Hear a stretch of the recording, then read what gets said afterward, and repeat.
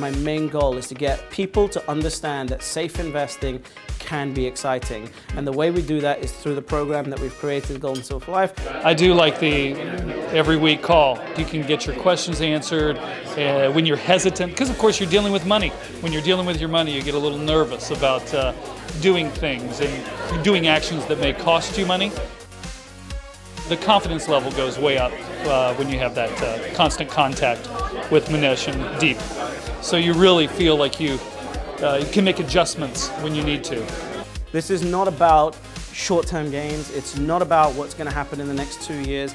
It's more about understanding how do you manage wealth for two generations or three generations. For me, the best thing is um, the long-term wealth creation. I'm not in it for the short term. As uh, Manish said, it's, it's a long haul. So I'm looking at 10, 15 years investing in gold and silver.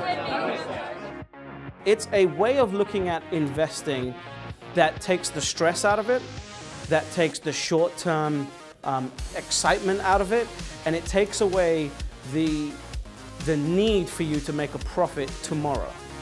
It's designed to be a long-term strategy that you can pass on to your children and in fact, to, to, a, to a large extent, completely automate. Instead of paying storage costs on your gold and silver, you can actually uh, generate a little bit of cash flow. Um, and at the same time, you're still involved with precious metals. We still face the very real risk post-2008 of not just this bank apocalypse, but if central banks throw enough money at the problem, a monetary apocalypse now where a huge wave of inflation eventually does roll through as they desperately attempt to reliquefy the system and save the banks in a subsequent crisis. It could still happen, the risks are still very, very real.